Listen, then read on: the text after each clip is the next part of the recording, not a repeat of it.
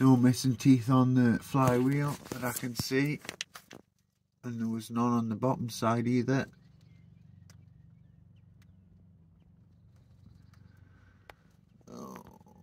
Hi there guys, so I didn't really want to have to make this video but we're here now.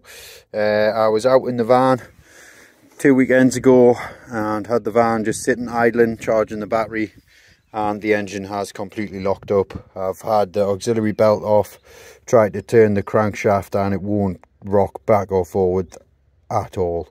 So I've checked the timing belt, timing belt's not snapped.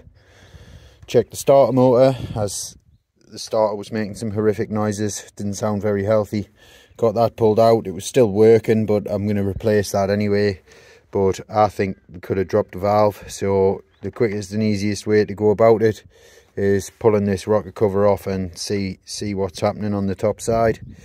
So I've just loosened off these injectors and not very often that you can just pull them out by hand so I'm really pleased with that first one. We'll see how the rest of them go though. Last injector's now out. Looking pretty grimy in the holes again, but they're out. Bloody great. Now I can get this rocker cover off and just get a final answer whether it's top end or bottom end.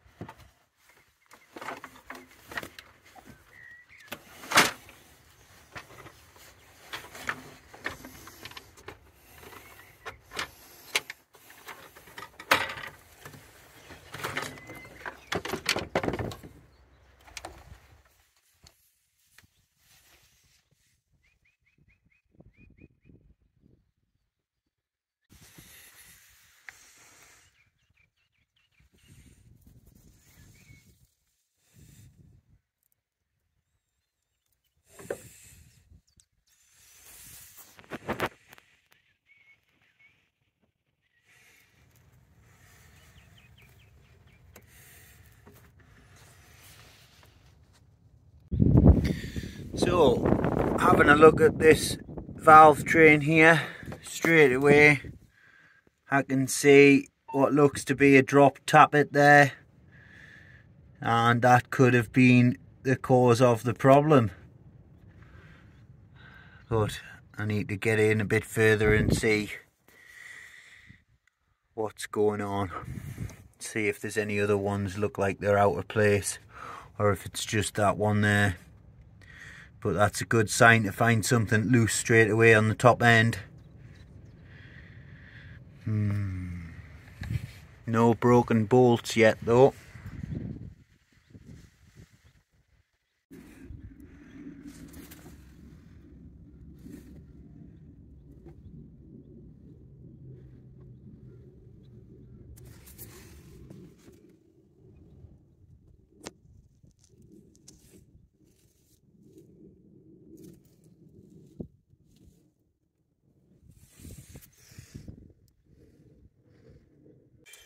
got the injectors out got the rocker cover off.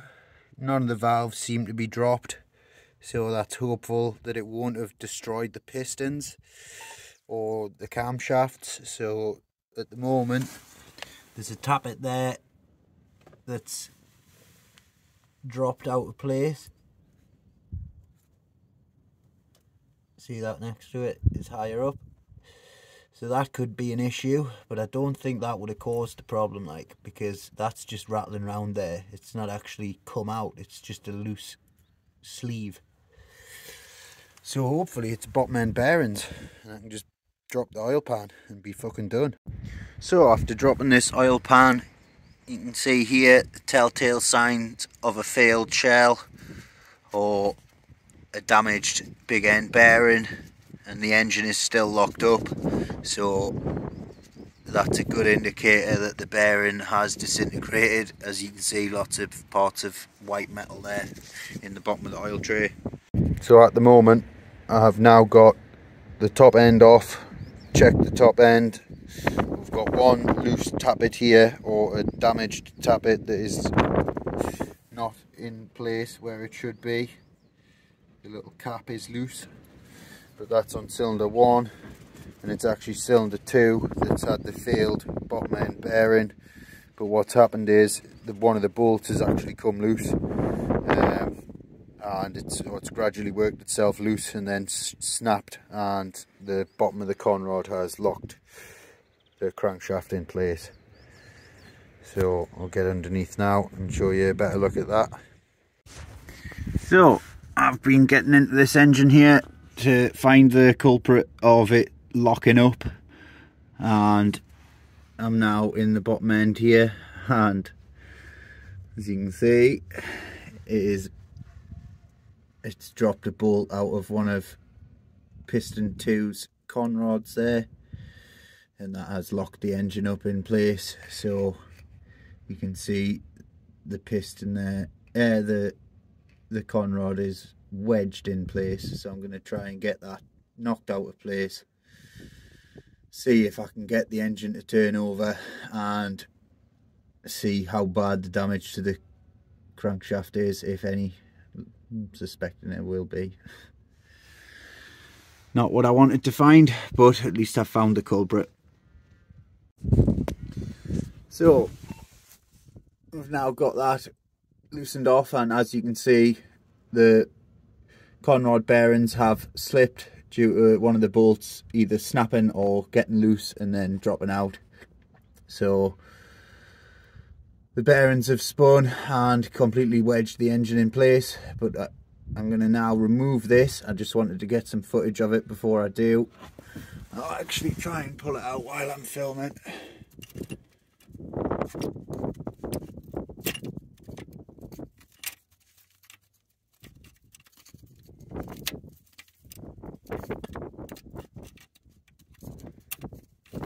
It's just in a right bad spot. I might try and see if I can get the engine to turn over now, but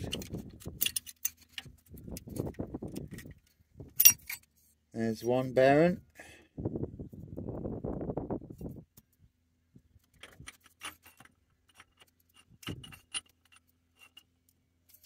And the top one's actually stuck in place still. Oh, no, there we go.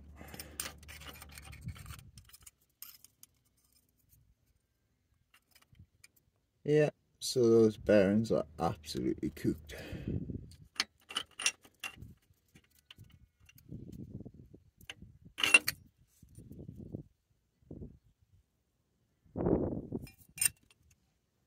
And the crankshaft is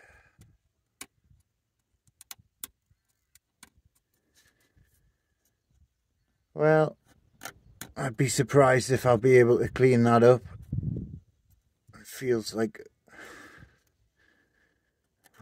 hopefully it could be the bearing material just built up on the surface but I suspect it's damaged the journal. So now that's out of place will that piston move at all? That's a question. Can I get the engine to rotate so as you can see now I've got this bottom end conrod out. You can see the damage to the bearing surface there on the conrod it's just absolutely cooked. And the journal on the crankshaft as well doesn't look very good. So I've been having a good little hunt around to see what has actually got this engine locked up and where was that? In here. See if I can actually get the camera to focus, but ah, probably not. Can I get you to focus?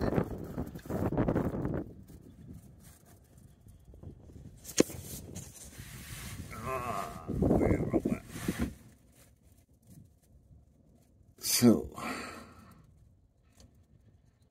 don't know if we're going to get it.